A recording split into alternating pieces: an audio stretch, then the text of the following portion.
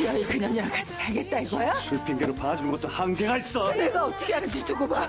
두고 봐. 나만 생매장 당할 뻔했다고 이. 당신이 죽었다던 순영언니도 모자라 이젠 강바람까지 살아왔어 강바람이 천사나를 찾고 있어요 정말 천사나를 찾으면 무슨 수를 써서라도 내 앞에 가져와요 마대가! 뭐 하는 거야 미쳤어?